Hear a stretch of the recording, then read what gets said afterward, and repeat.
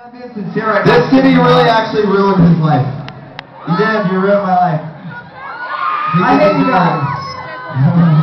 hey, but you know what? We wouldn't have been able to write this next song if it wasn't for you guys if we didn't live in LA. And I want to give a special shout out to my buddy Jordan. It's his birthday, and he came here tonight.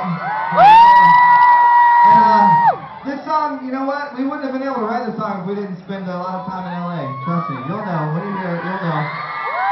You'll know why. Trust me, you'll get it. You'll get it. Mommy, Trust me, can you? you'll get it. Are you ready? I love you. You'll get it. Dino's asleep back there.